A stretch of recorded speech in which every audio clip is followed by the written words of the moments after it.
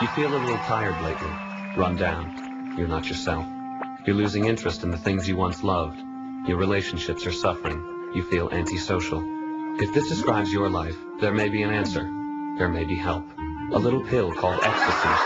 Ask your dealer if it's right for you.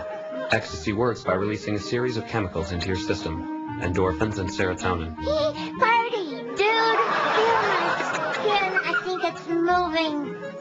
The endorphins bring on a sense of nirvana.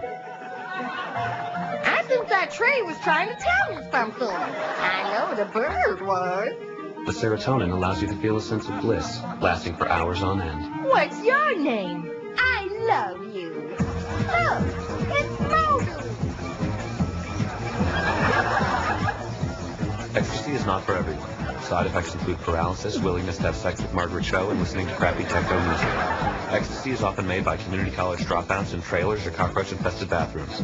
Chronic use can lead to prolonged discussions with your socks, shoes, or other footwear. Occasionally, ecstasy can lead to death, or in severe cases, a tendency to waste votes on the Green Party.